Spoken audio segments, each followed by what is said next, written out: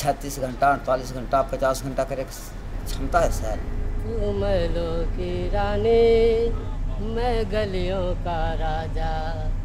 तुझे जाना है तो जा तेरी मर्ज़ी है क्या? बस खाली आएँगे और देख करके चले जाएँगे जनता क्यों बेहाल है जनता में क्या प्रॉब्लम है? ये सब देख करके इसके बाद किसी कोई एक्शन लेने के लिए तैयार ही नहीं है।